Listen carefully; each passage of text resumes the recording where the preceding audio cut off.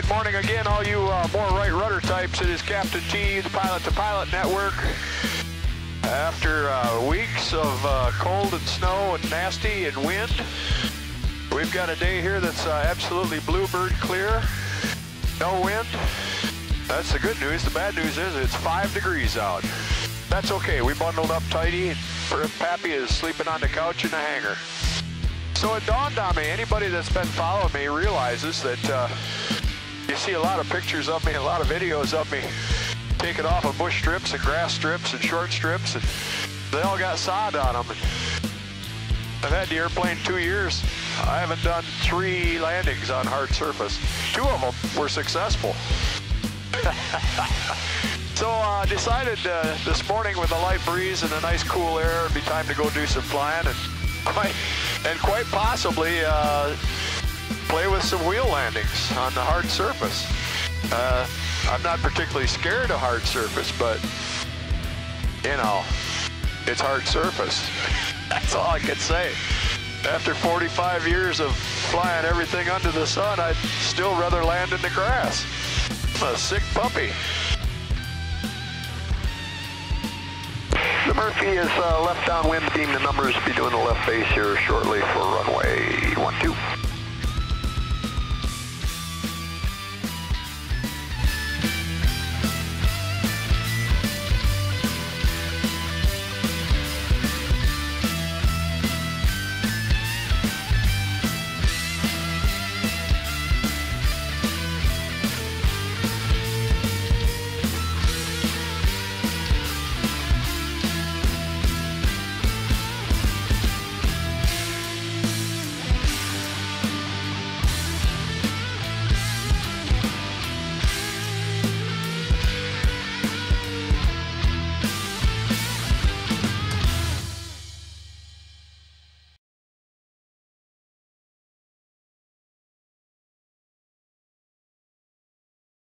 It ain't pretty, but it's done. Okay, okay, okay. Before you blow up the comments section, my first attempt at a wheel landing in the Murphy did not go as anticipated. A wheel landing, for those of you who maybe don't know, is a second technique for landing in a tail dragger aircraft. The first technique would be a full stall flared landing. The second technique would be a wheel landing where you land on the main gear only and the tail wheel doesn't touch the runway until the airspeed bleeds off. Wheel landings are very similar to float plane landings in that you fly the airplane onto the runway.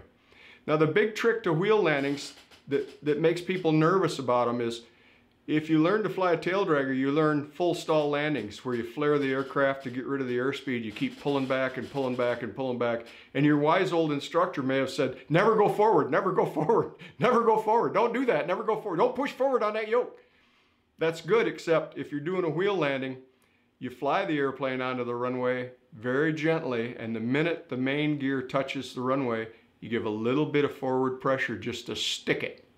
They're a little faster typically for uh, better control and keeping that tail off the runway. And they're also better in a crosswind in a lot of situations. So we did about eight wheel landings in the course of the video. The last couple were really good and the last one you see I believe is the last one that we did. And it's quite good. So uh, I have no qualms about wheel landings anymore. And we do another one just for fun.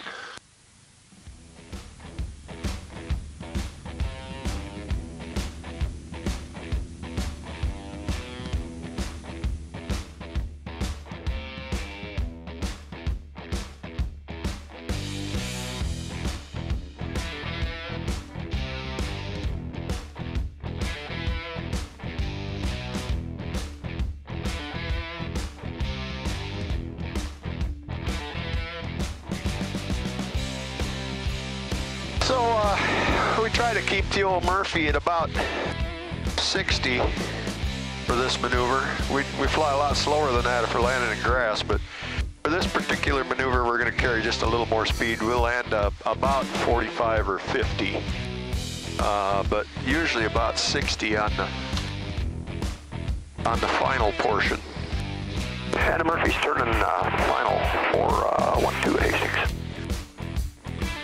We got our 60, which is showing about 800 feet a minute down. It's a good thing to know if you're uh, practicing engine outs. Clear the throttle just a little bit.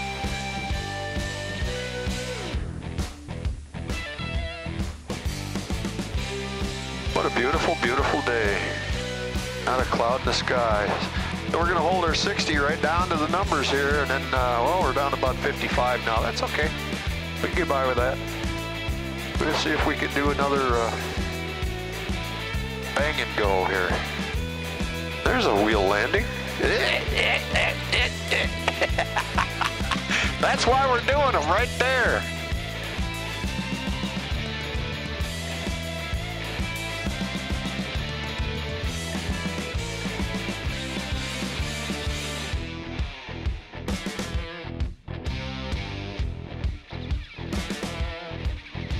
Ah, just to fly by to say hello.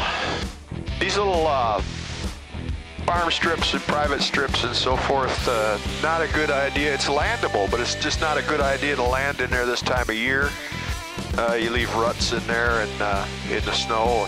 If somebody's trying to fly skis, they'd have a, a dickens of a time with the ruts that you leave. So uh, we don't we don't mess with them.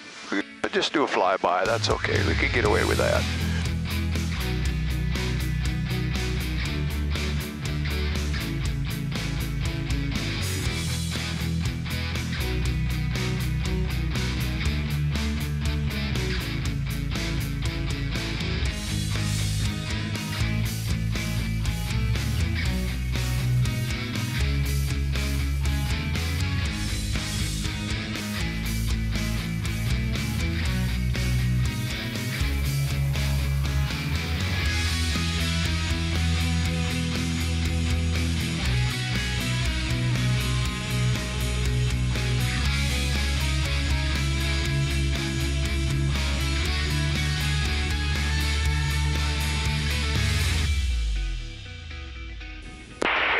Traffic.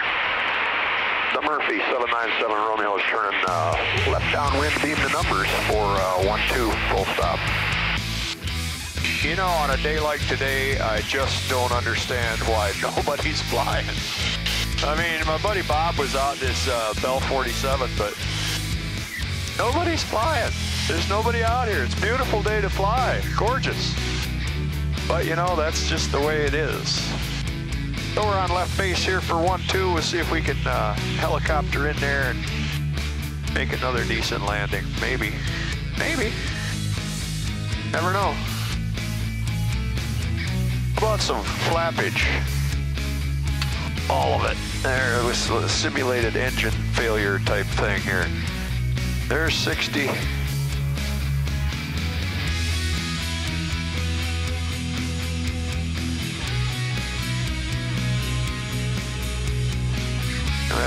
Plenty of runway, so we're not going to slip or anything. Just going to keep it coming down. Airplane like seven or 800 feet a minute down at 60 with all the stuff hanging out. Quite a deck angle, I'll tell you. Spooky.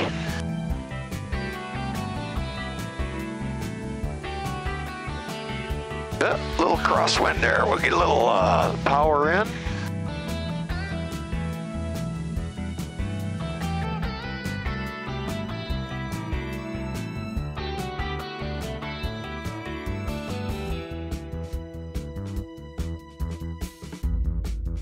Well, it's about time to put the toys away for the day. I've had an awful good time. Thank you all for coming along and getting me over my hard service fear. Uh, it's been great. It's just like I remember it was. And like I said, they're not the prettiest, but they work just fine. And I'm sure the more I do, the better they'll get. That's the way with aviation. Hey, we're paying attention. We love each and every one of you. If you're liking the videos, go ahead, punch that big red subscribe button. Just get it over with. We'll see you on the next one. For now, it's Captain T. So long.